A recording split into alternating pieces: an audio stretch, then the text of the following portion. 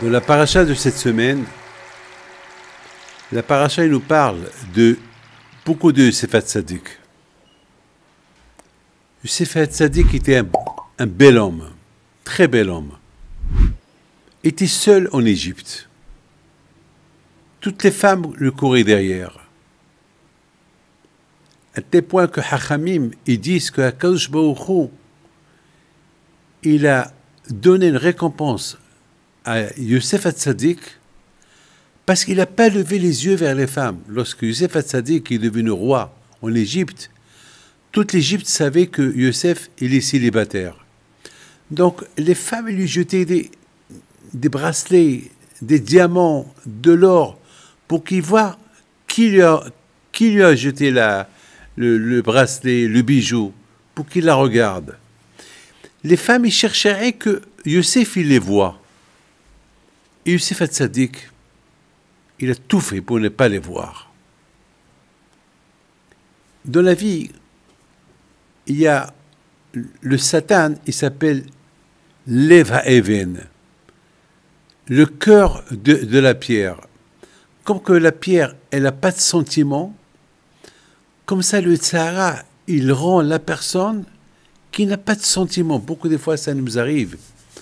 On donne un cours de Torah, on parle sur Avraham Abino, on parle sur Yitzhak, on parle sur Yaakov, on parle des choses qu'ils ont fait.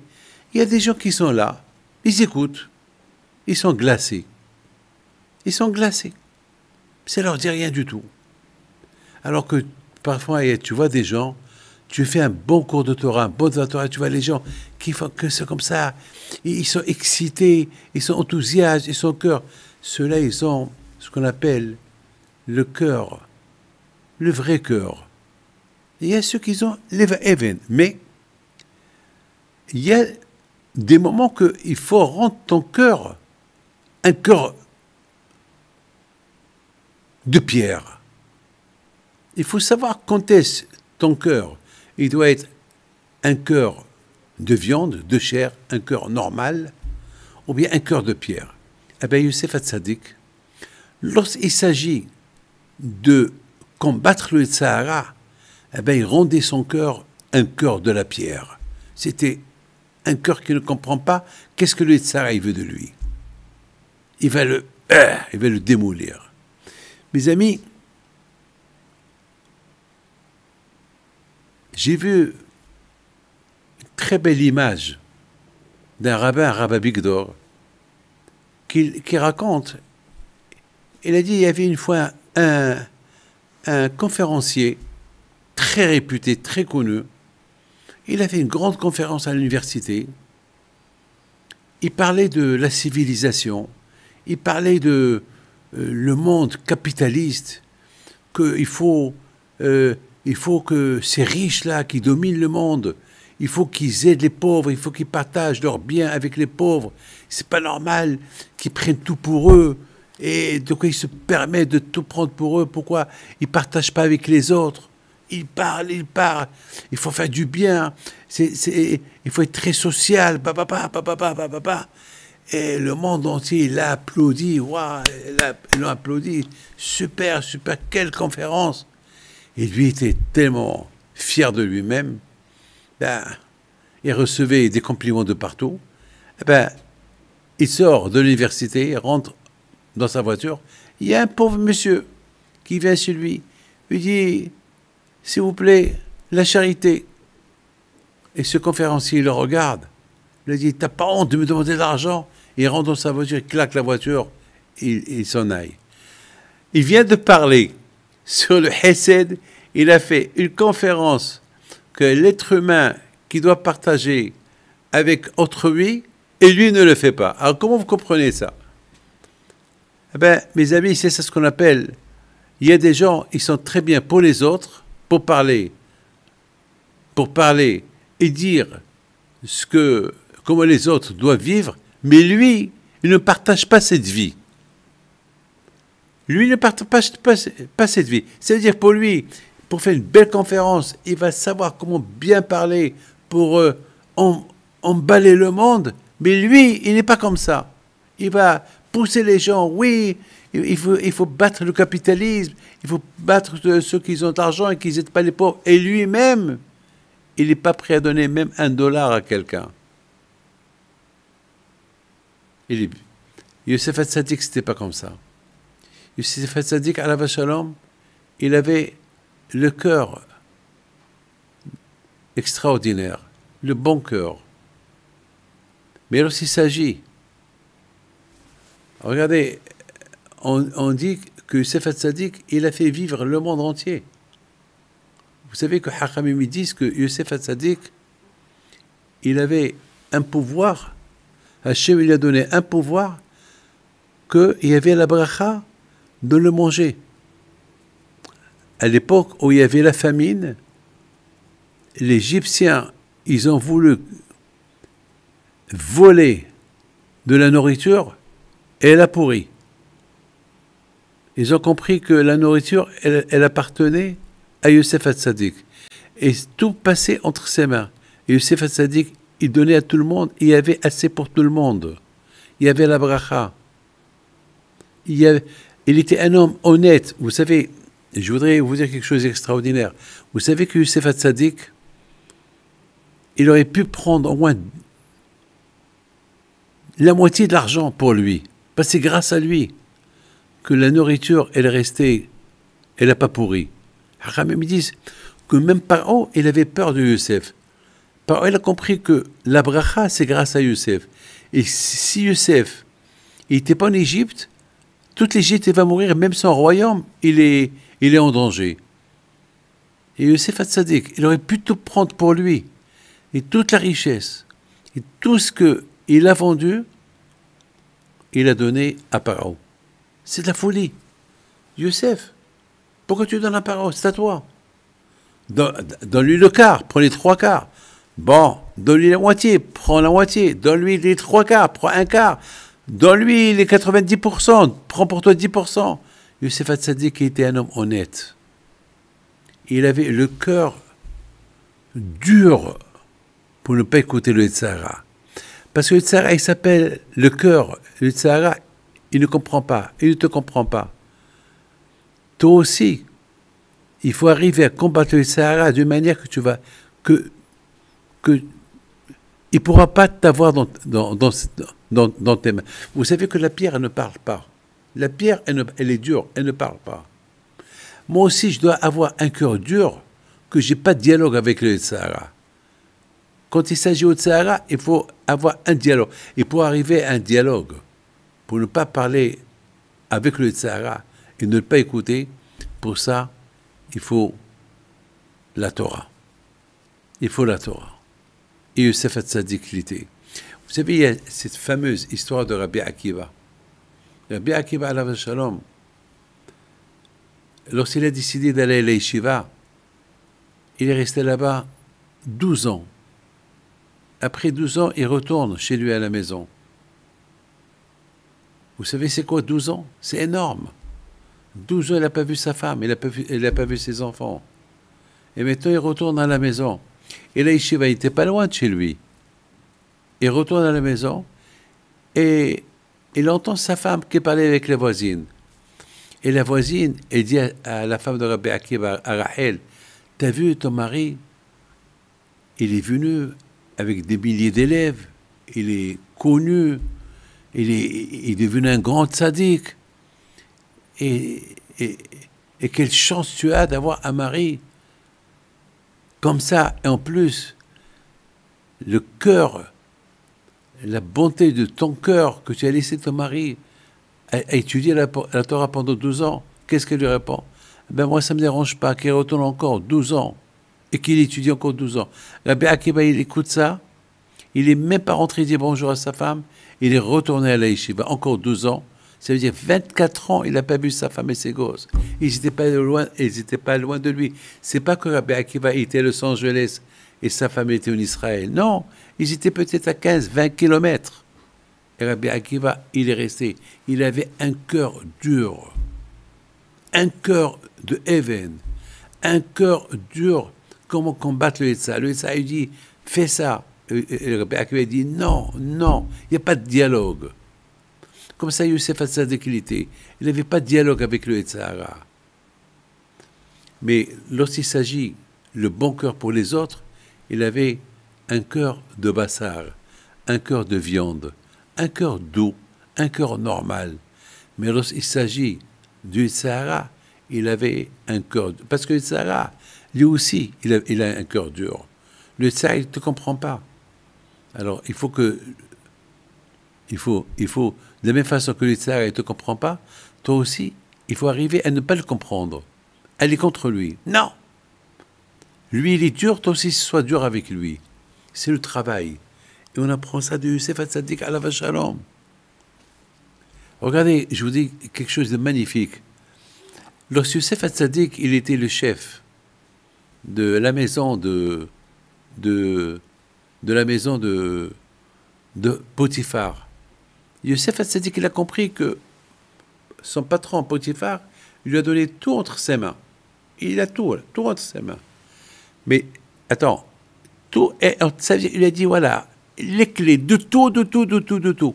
Alors la femme de Potiphar, elle, commence un peu à, à dire à, à, Youssef, elle a commencé à lui faire un peu des, des, gestes pour faire la. Et Youssef a dit qu'il il a dit non. Et à un moment donné, la femme de Potiphar, elle a parlé ouvertement à Youssef. lui a dit, viens faire avec moi la habera. Et Youssef qu'il a dit non. Il a dit. Alors elle lui dit Mais mon mari, il t'a donné tout entre tes mains. Tout t'appartient. Même moi, je t'appartiens. Youssef Hatzadik lui a dit Mais t'as pas compris. Il y a une seule chose qui ne m'appartient pas. Toi. Tout m'appartient. Ton mari m'a donné tout entre, mes mains. D'une manière que, comme si tout m'appartient. Mais toi, tu peux même pas être entre mes mains. Toi, tu ne m'appartiens. Toi, tu es à ton mari. Toi, tu es à ton mari. Regardez, Youssef Hatzadik, quel cœur il avait. Un cœur dur, un cœur de pierre, un cœur qui ne veut pas comprendre. A donné raison à cette femme-là pour fauter avec elle. Ça, c'était Youssef Hatzadik. Et c'est pour cela on l'appelle Youssef Hatzadik. Mes amis, il faut savoir une chose il y a des moments que il faut endurcir le cœur, qui devient comme un cœur de pierre pour ne pas fauter. Pour ne pas fauter. Il y a des moments, oui. Regardez mes amis. Il y avait, je voudrais simplement vous raconter une petite histoire qui est magnifique. Il y avait, il y avait une fois un monsieur qui vient chez moi. D'ailleurs, c'est, je vous le dis, c'est. Il me dit, Rabbi David, j'ai, grâce à Dieu, j'ai, j'ai réussi à ne pas fauter. Je dis, raconte-moi.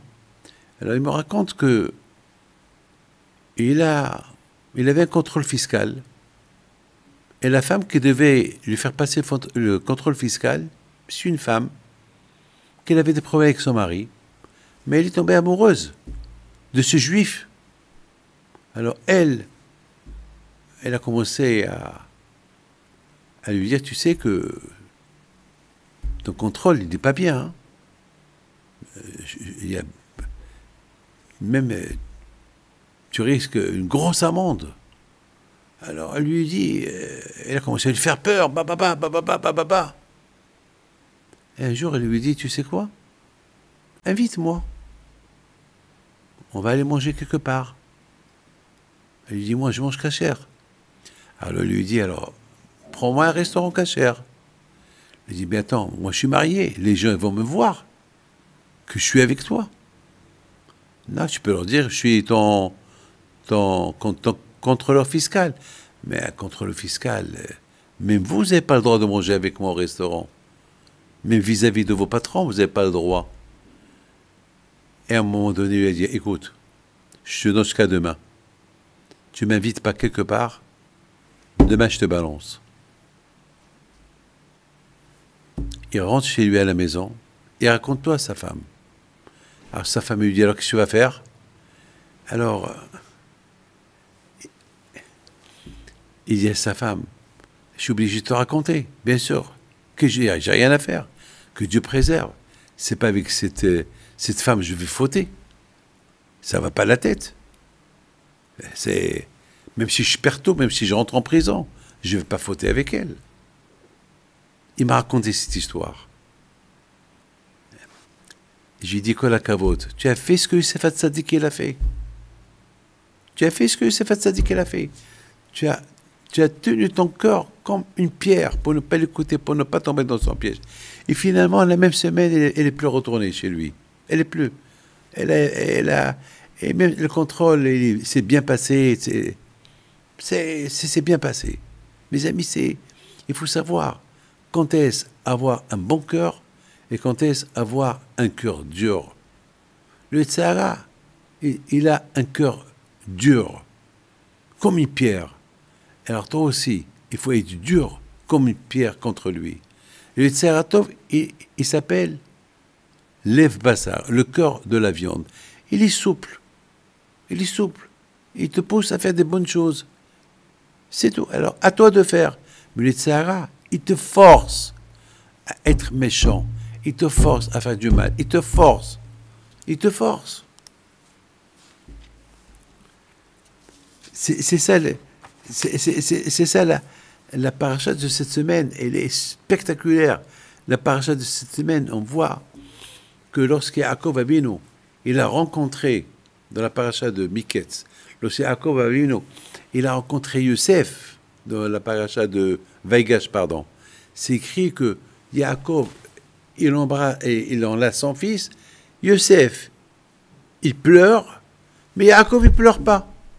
Alors, Hachamim dit, comment Yaakov Abino, qu'il était pendant des dizaines d'années en deuil par rapport à Youssef, qu'il adorait, qu'il aimait, qu'il croyait qu'il était mort, maintenant le voilà, il le voit vivant, il le voit tzaddik, il le voit euh, marié avec des enfants juifs, euh, il le voit, quel c'est Ishmaïa, comment le bon Dieu l'a aidé.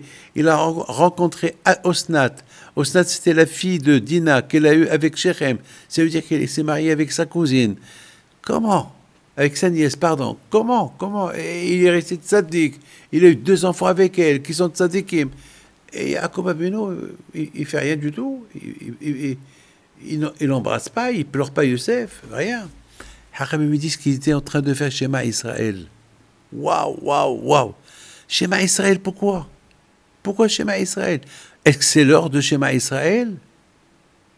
Alors, si c'est l'heure de Shema Israël, pourquoi Youssef Hatzadik qu'il n'a pas fait Shema Israël? Est-ce que c'est l'heure de Shema Israël maintenant? Et c'est l'heure? Maintenant, c'est l'heure de la joie. Mais comment, comment il peut, je ne sais pas moi, comment il peut faire Shema Israël? Euh, devant un fils qu'il n'a pas vu euh, des années, des années, que maintenant il a retrouvé. C'est, c'est le, moment des émotions, c'est le moment de joie. C'est quoi? Ben, mes amis, vous voyez ici Yaakov Abino, le cœur dur qu'il avait. Ce Yaakov Abino, qu'il avait un cœur souple, un cœur de, de viande, un cœur humain, un cœur en chair. Il a un cœur dur. C'est un moment qu'il a voulu montrer à ses enfants. Si je dois choisir entre mon père et mon fils, entre Hachem et mon fils, eh ben c'est Hachem qui passe en priorité. Il a commencé à faire schéma Israël, ça veut dire Hachem, je t'aime plus en, ce, moment-là, de ma plus grande joie. Eh ben Hachem, je sacrifie la joie que j'ai de voir mon fils, je la sacrifie pour toi. Shema Israël, tu es mon Dieu, tu es le seul, unique, tu, tu es Hachem. Je t'adore, Elokecha, je t'adore, je t'aime. Voilà, voilà le cœur. Il faut savoir quand est-ce, il faut avoir un cœur en fer, un cœur de pierre, et quand est-ce qu'il ne faut pas avoir un cœur. Pour aider quelqu'un qui est dans le, la détresse, il faut avoir, il faut pas avoir un cœur dur, aide-le. Il faut pas avoir un cœur de pierre, aide-le. Mais lorsqu'il s'agit du tsara qui, veut te faire du mal, toi, combat-le, sois avec lui avec comme un cœur de pierre. Beaucoup de fois aussi, il faut savoir quand est-ce qu'il faut avoir la peine, la pitié. Et quand est-ce que aussi, c'est pas bien d'avoir de, la pitié. C'est vrai. Vous savez, on dit que celui qui a la, pitié pour un ennemi, eh ben à la fin, l'ennemi va le tuer. Non, il faut savoir quand est-ce qu'il faut avoir eh, lève chez l'Even et quand est-ce qu'il ne faut pas avoir le lève chez l'Even. Il faut aussi savoir quand est-ce qu'il faut avoir lève chez le bassa, quand est-ce que tu peux avoir un lève souple et bien, et quand est-ce qu'il ne faut pas avoir un, un cœur souple. Par exemple, ton fils, il ne se lève pas le matin à la prière. Ah, le pauvre, il est fatigué. Toute, la semaine, il se réveille pour aller à l'école. Le Shabbat matin, ah, le pauvre, il dort. Ah, tu as le cœur souple là. Ah ben, ah ben, tu vas voir, c'est, c'est, souplesse qui n'est pas bien. C'est mal, c'est pas bien.